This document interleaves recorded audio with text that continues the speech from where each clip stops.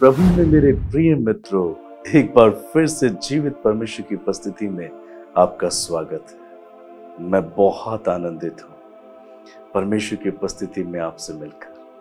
और मुझे पूरा विश्वास है कि आप भी अपने जीवन में प्रभु की उपस्थिति में आनंद को प्राप्त कर रहे हैं। हाँ मित्रों, बाइबल कहती है, परमेश्वर की उपस्थिति में आनंद की भरपूरी है।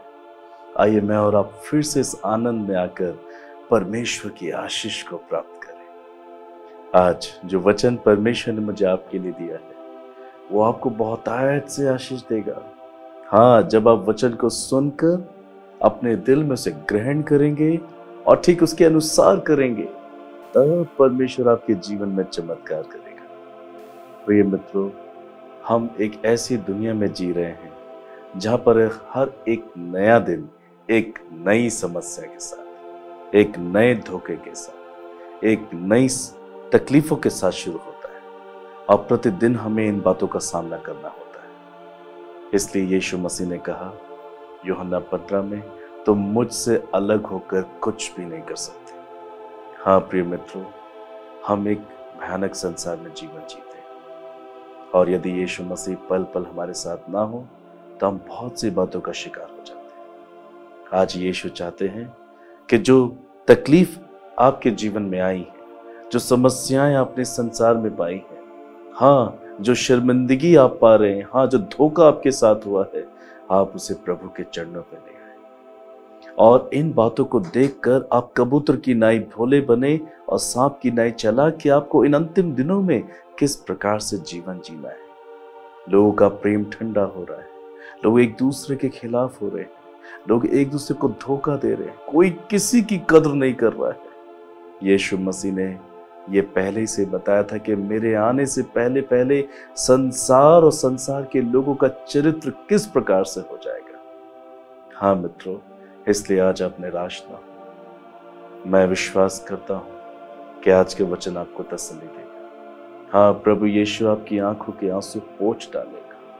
हाँ जो धोखा आपको मिला है परमेश्वर फिर से आपको सम्मान देकर आशीषित करेगा। जहाँ पर आपको शर्मिंदगी मिली है, वहाँ से दुगना प्रभु आपको आदर दिलाएगा। चिंता ना करें। आप परमेश्वर के वचन पर विश्वास करें। वचन में इस प्रकार लिखा है, इफिसियो पाँच अध्याय, उसके पंद्रह पद में, इसलिए ध्यान से देखो कि कैसी चाल चलते हो। निर्बुद्धियों के सम्मान नहीं पर बुद्धिमानों के समान चलो। हाँ मित्रों, ध्यान से देखो। हो सकता है कि अब तक आप दूसरों के चलन को देख रहे हैं, दूसरों के जीवन को देख रहे हैं, और इसीलिए आपको अपना जीवन नज़र नहीं आ रहा है। हाँ प्रिय मित्रों, जब दौड़ में दौड़ने वाला मनुष्य किसी और की दौड़ पर ध्यान देता है तो अपनी दौड़ हार जाता है। मगर वचन में ऐसा लिखा है कि परमेश्वर नहीं चाहता कि हम इधर या उधर ताके। हम परमेश्वर को ताके। हाँ हमारा ध्यान परमेश्वर के वचन की ओर हमारा चेहरा परमेश्वर की ओर वो हमारा मार्गदर्शन करके हमको जय वन से बढ़कर बनाएगा। इसलिए प्रभु यीशु कहते हैं कि आप ध्यान से देखो, अपने चाल चलन को देखो। आप कैसे मनुष्य निर्बुद्धियों के सम्मान नहीं, परंतु बुद्धिमानों के सम्मान चलो बाइबल ऐसा बताती है कि बुद्धिमान की बुद्धि अपनी चाल को देखना है। मगर निर्बुद्धि मनुष्य हमेशा दूसरों की चाल पर ध्यान करता है। हम अंतिम दिनों में हैं। यीशु चाहते हैं कि आप अपने चाल चलन को देखें और नए बन जाए। नई सृष्टि बन जाए। प्रभु यीशु के पास आए, जो आपके जीवन को बदल सकता है, वो आपको शांति दे सकता है। प्रिय मित्रों, आगे लिखा है कि सोलह पद में अवसर को बहुमूल्य समझो, क्योंकि दिन बुरे हैं। हाँ हम बुरे दिनों में हैं। आप दूसरों से विश्वास योग्यता पाने की कोशिश करते होंगे, प्रेम पाने की कोशिश करते होंगे, भलाई पाने की कोशिश करते होंगे, मगर इसका बिल्कुल उल्टा ही हो रहा होगा। ऐसा इसलिए क्योंकि दिन बुरे हैं। हम बुरे दिनों में जी रहे हैं। पाप, अपराध हर प्रकार से बढ़ता जा रहा है। इसलिए आप परमेश्वर के चरणों पर आए। अपने हृदय में बल को प्राप्त करें। ना सोचें कि कोई आपकी चिंता नहीं करता, सिर्फ़ यीशु मसीह आपकी चिंता करता है। सिर्फ़ उन्हें आपका ध्यान है और वो आपको नई ज़िंदगी देना चाहते हैं।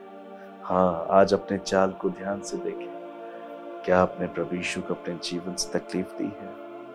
आपने प्रभु यीशु मसीह को अपने जीवन से धोखा दिया है।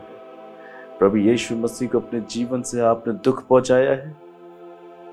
प्रिय मित्रों, जैसा हमारा चाल चलन प्रभु के साथ होता है, ठीक वैसे ही दुख हमें संसार में पाते हैं। यदि हम ऊपर चलने वाले परमेश्वर के साथ दिन प्रतिदिन वफादार हैं, ईमानदार हैं तो इस संसार में वो हमें दूसरों के प्रति आदर दिलाएँगे।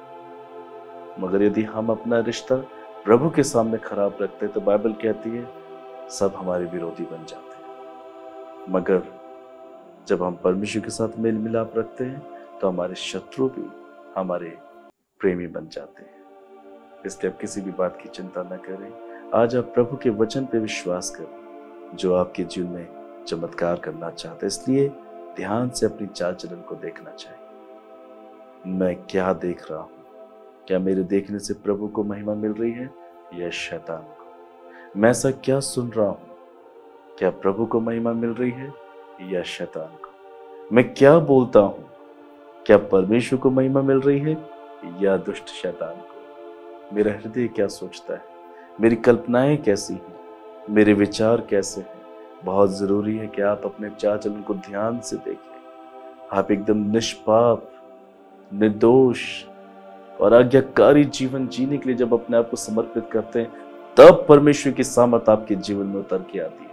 हाँ प्रिय मित्रों, वचन को सुनकर नहीं, मगर वचन पे चलकर आपके जीवन में चमत्कार होते खुद यीशु मसीह आपके साथ खड़े होंगे आपके दाहिने हाथ में, और जितने भले काम में आप हाथ लगाएँगे, वो आपको सफलता देंगे। उन्होंने यहूशु से कहा कि जब तक मैं अपनी कही हुई बात को तेरे निमित्त पूरी नहीं करूँगा, मैं तुझे तब तक छोड़ूँगा नहीं, तुझे धोखा नहीं दूँगा। हाँ परमेश्वर कभी धोखा नहीं देता। वो जो आपके लिए कहता है, उसे पूरा करता है, पर शर्त ये है आपने जो प्रभु को कहा है, आप भी उसमें धोखा ना करें। आप में परमेश्वर की सच्चाई पाई जानी चाहिए। हाँ प्रिय मित्रों, परमेश्वर ने दाऊद से कहा था, यदि तेरा पुत्र तेरे अनुसार मेरे नियमों को मानेगा और जो कुछ मुझे पसंद है करेगा, मैं उसे आशीष दूँगा। पर यदि वह तेरे अनुसार मेरी खोज ना करेगा तो उसके निमित्त जो भलाई मैंने सोची है, उसे मैं कभी बुरा नहीं करूँगा। हाँ प्रिय मित्रों, यदि आप परमेश्वर के साथ ईमानदार नहीं हैं तो परमेश्वर आपके लिए कुछ नहीं कर पाएगा। पर यदि आप सर्वशक्तिमान के साथ ईमानदार हैं, वफादार हैं तो आप सारी चिंता परमेश्वर के हाथ में सौंप दीजिए, वो आपको बढ़ाकर पृथ्वी पर अधिकारी बना देगा। हालेलुया। इसलिए प्रभु यीशु का वचन कहता है, ध्यान से देखो कि कैसी चाल चलते हो। क्या आपका चाल चलन परमेश्वर को भावता है? या वो शैतान को महिमा देता है। और निर्बुद्धियों के समान नहीं, परंतु बुद्धिमान के समान चलो। जो बुद्धिमान होते हैं, अपने चाचरण के विषय में निश्चिंत रहते हैं, अपने परमेश्वर के वचन के अनुसार जीवन जीते हैं और बहुत से आशीष पाते हैं। क्योंकि वो ये जानते हैं कि वो बुरे दिनों में चल रहे हैं। आपका प्रभु मेरा प्रभु आने वाला है। हमें तैयारी करनी चाहिए। हम दुनिया की बहुत सी बातों की चिंता करते हैं। मरियम और मार्था के घर में जब प्रभु यीशु मसीह आए थे माता बहुत सी बातों की चिंता कर रही थी। मगर मरियम ने सारी चिंता हटाई और यीशु के चरणों पर आकर बैठ के उससे शिक्षा को सुनने लगी। यीशु ने कहा, मरियम ने उत्तम स्थान चुन लिया है और जो उससे कभी छीना नहीं जाएगा। क्या आपने अपने जीवन में उत्तम स्थान चुना है? परमेश्वर का स्थान, परमेश्वर की उपस्थिति का स्थान उसकी संगति का स्थान, उसकी शिक्षा का स्थान। ध्यान से देखो कि आप कैसी चाल चलते हो। निर्बुद्धियों के समान नहीं बुद्धिमान के समान चलो। आज आवश्यकता है आपको बदलने की, नए जीवन को पाने की। यीशु मसीह जैसे बन जाने की। हाँ प्रिय मित्रों, अगर यीशु आपके जीवन में है, आप धन्य है। हालेलुया।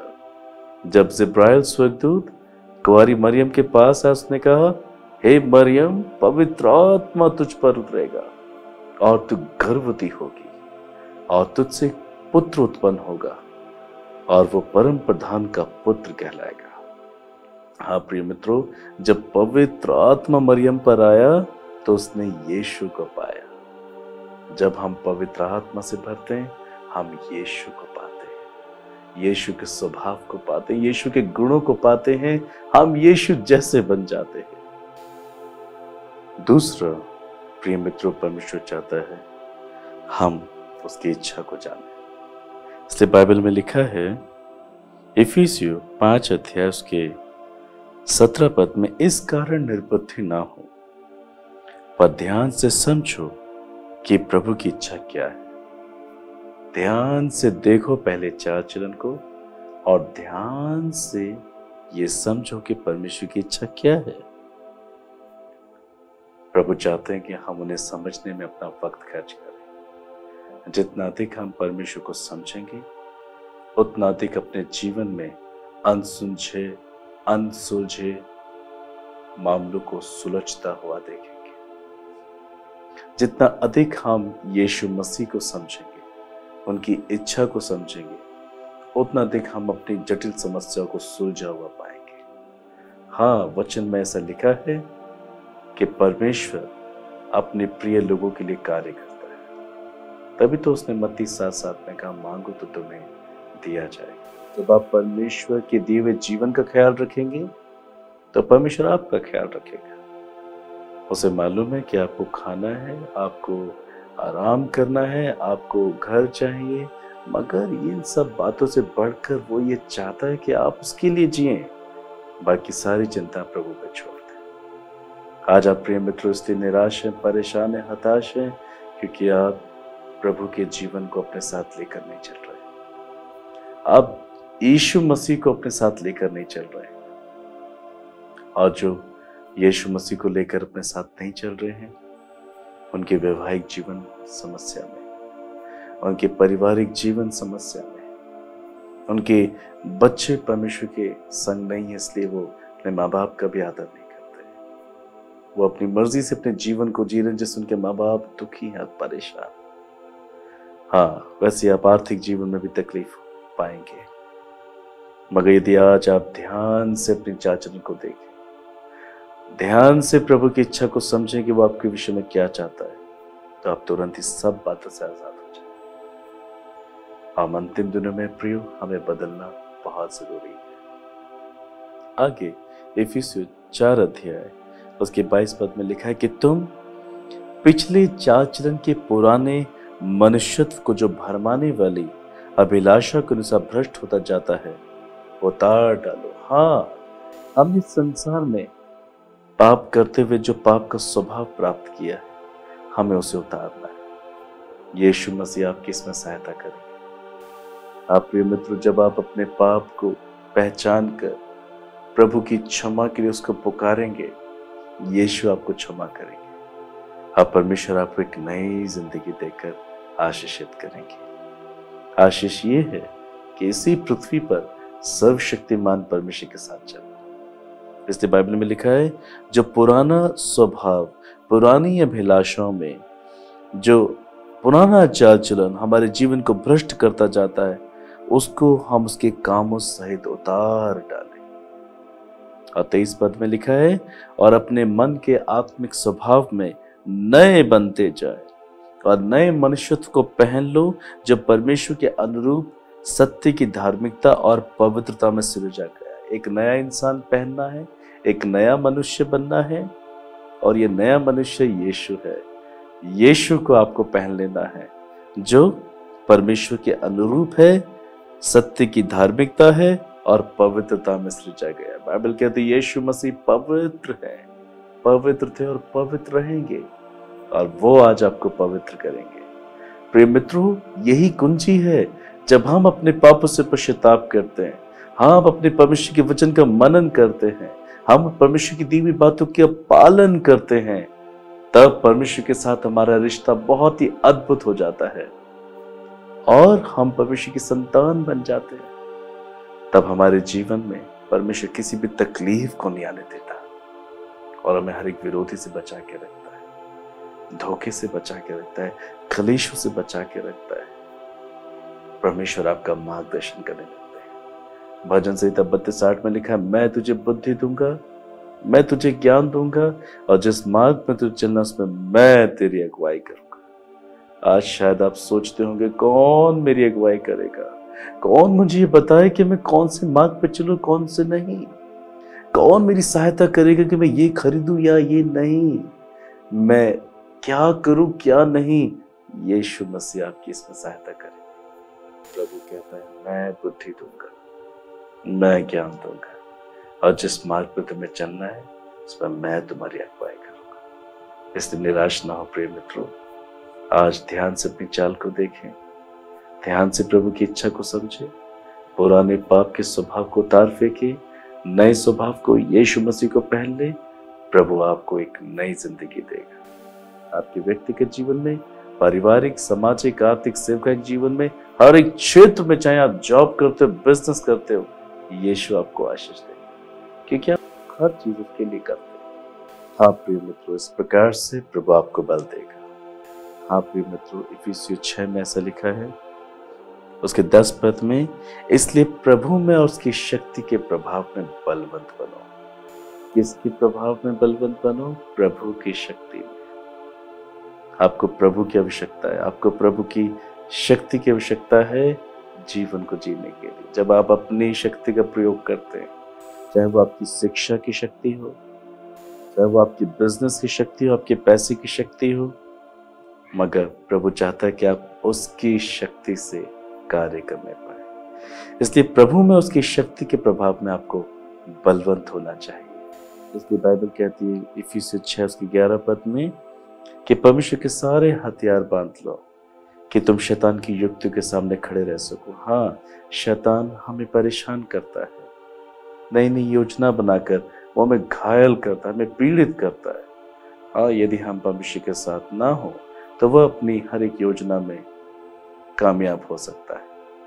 मगर यदि हम प्रभु के वचन के अनुसार जीवन को जिए, तब ये हमें परमेश्वर की शक्ति से उसकी प्रभाव से भरता है और हम शैतान को जड़ से उखाड़ फेंकते हैं। लिखा है बाइबल में कि तुम परमेश्वर के सारे हथियार बाँध लो और तुम फिर शैतान की शक्ति के सामने खड़े रह पाओगे। उसकी युक्तियों के सामने खड़े रह पाओगे और आप शैतान को प्रभु के सामने से कुचल सकते हैं।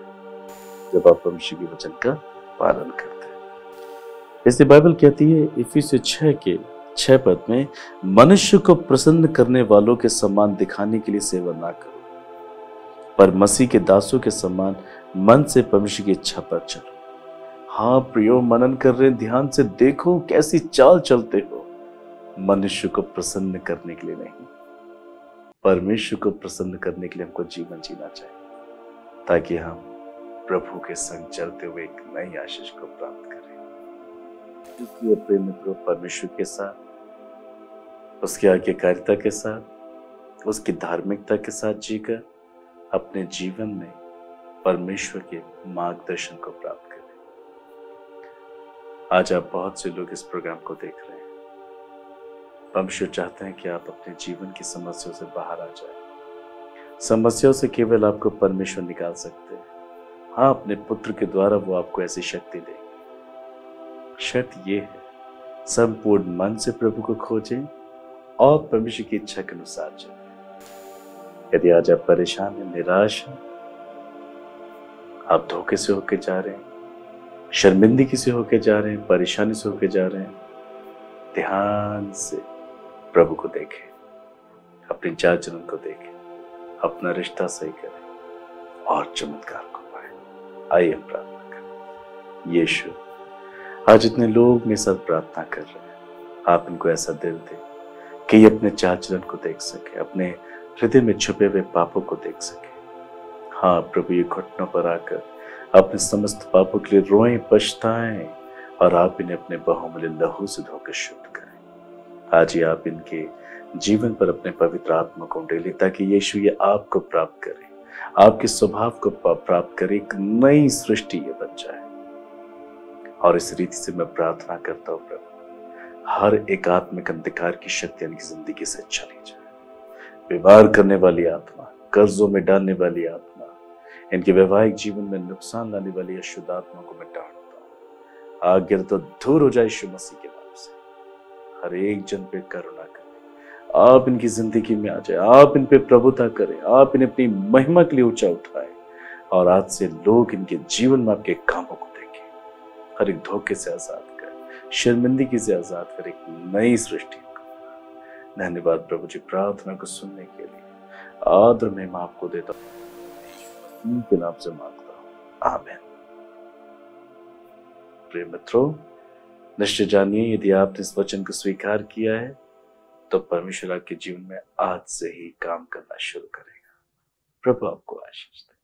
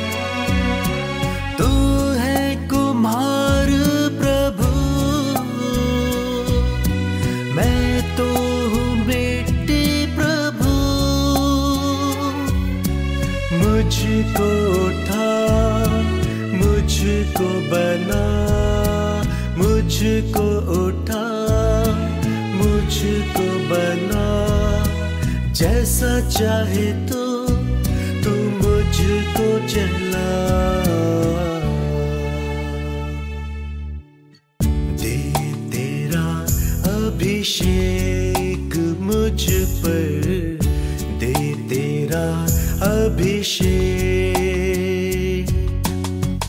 दे तेरा अभिषेक मुझ पर।